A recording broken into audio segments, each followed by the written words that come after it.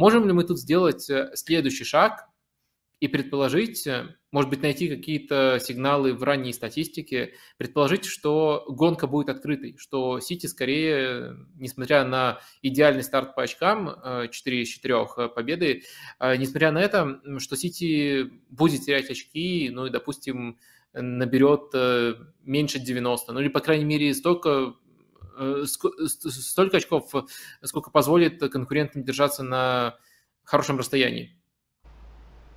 Это очень хороший вопрос. Я прошу режиссера трансляции показать картиночку, которую я тоже присылал. А, это э, так называемый Месси рейтинг, а, рейтинг Месси, а, который не того Лионеля Месси, который сейчас в МЛС да, шумит, а другого Месси. Это был такой исследователь, ученый, профессор, который придумал придумал, каким образом можно учесть э, силу, сложность календаря при э, оценке силы команд. То есть э, там э, используются, там анализируются результаты матчей. То есть, опять же, этот, этот график, он основан не на э, продвинутой статистике, не на XG, не на Deep Entries, которые мы рассматривали ранее, а на исключительно на результатах, на разнице голов и э, победа, ничья или поражение. Но а, в чем а, красота этого, в чем преимущество этого графика над, э, перед э, обычной турнирной таблицей?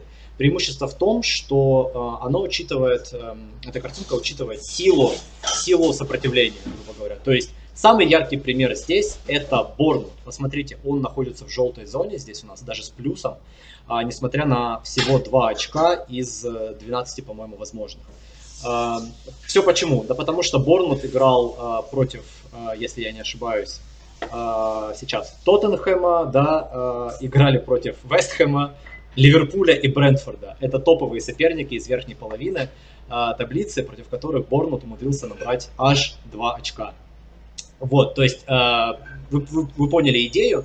И э, теперь э, в контексте Ман Сити давайте посмотрим. У них 12 очков, но при этом э, у них в соперниках, э, соперниках были Э, Фулхэм, у них был сильный Ньюкасл, э, при этом против Ньюкасла, как мне кажется, это был лучший матч э, Ман-Сити. Ну и другие соперники, против которых, ну, не из, грубо говоря, не, не, не, не топовые.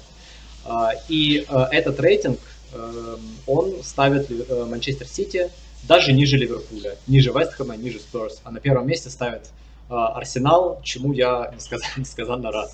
В общем, отвечая на вопрос, есть ли какие-то индикаторы того, что Man City э, испытывает проблемы, да, они есть, но эти проблемы, они не с обороной. Если, опять же, вспомним тот график Deep Entries, который я показывал э, ранее э, в контексте Манчестер Юнайтед, э, да, спасибо большое. Uh, то есть мы видим, опять же, Манчестер Сити это лучшая оборона лиги все еще, но опять же, с учетом сопротивления и, но с точки зрения атаки, это уровень Spurs, это уровень Манчестер Юнайтед и Брентфорда. Да? То есть, опять же, с учетом того, что у нас выборка очень крошечная.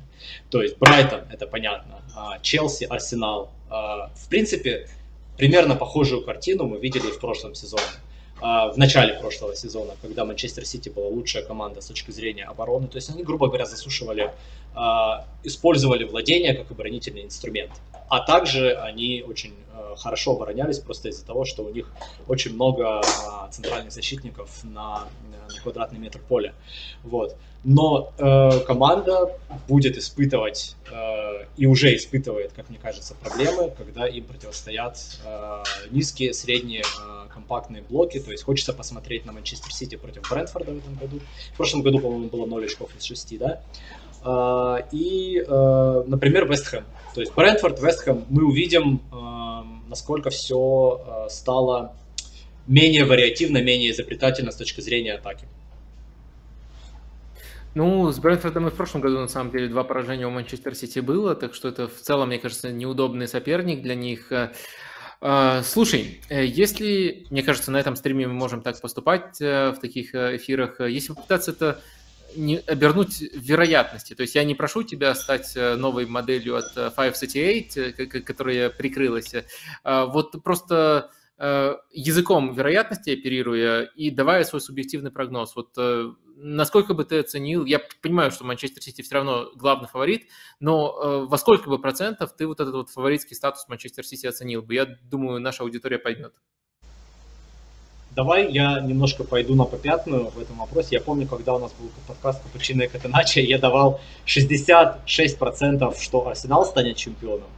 А, после первых четырех матчей у нас, э, конечно, огромное количество новой информации, да, мы можем э, все пересчитать, но мне кажется, что э, даже я, даже я, известный хейтер Манчестер Сити, чуть-чуть больше убежден. То есть я теперь даю э, Арсеналу чуть меньше процентов, потому что я вижу проблемы не только у Ман-Сити, но я вижу проблемы и у Арсенала. То есть не все так безоблачно, как я э, думал.